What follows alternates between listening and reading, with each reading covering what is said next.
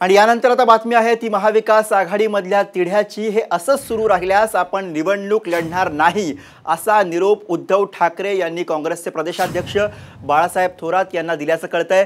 मुख्यमंत्र्यांच्या या आक्रमक पवित्र्यानंतर काँग्रेस नेत्यांनी एक बैठक घेऊन त्याबाबत चर्चा केली आणि लवकरच काँग्रेस आपली अधिकृत भूमिका मुख्यमंत्र्यांना कळवणार आहे. विधान परिषदेच्या सहाव्या जागेवरनं महाविकास आघाडीमध्ये तणाव निर्माण झाला आहे विधान परिषदेसाठी काँग्रेसचे दोन उमेदवारांवरती काँग्रेस अडून आहे. आणि त्यानंतर मुख्यमंत्री उद्धव ठाकरे हे नाराज असल्याची चर्चा आहे.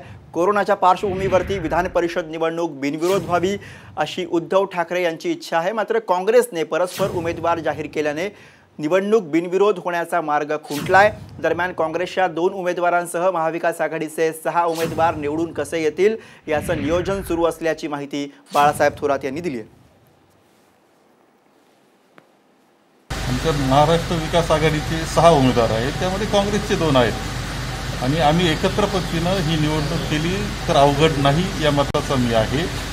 आणि दबाव असा कोणता माझ्यावर नाही आहे आम्ही एकत्र पद्धतीने कसं जायचं हा हीच चर्चा चालू आहे. याचं नियोजन आम्हाला करायचं आहे एवढंच त्याचा भाग आहे.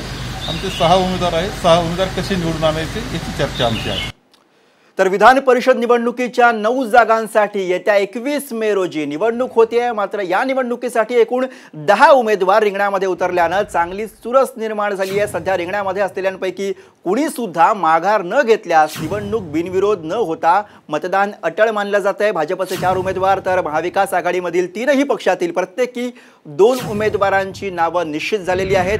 कुणाकुणाला कोणत्या पक्षाकडनं उमेदवारी दिली आपण ग्राफिक्सच्या माध्यमातून एकदा बघूयात. भाजपचे उमेदवार आहेत अजित गोपचडे आणि गोपीचंद पडळकर. तर आणखी दोन उमेदवार भाजपचे रणजित सिंह मोहिते पाटील आणि प्रवीण दटके. शिवसेनेकडनं स्वतः उद्धव ठाकरे आणि नीलम गोरे या उमेदवार आहेत. तर विधान परिषदेसाठी काँग्रेसने उमेदवार दिलेले आहेत ते म्हणजे राजेश राठोड आणि राजकिशोर मोदी.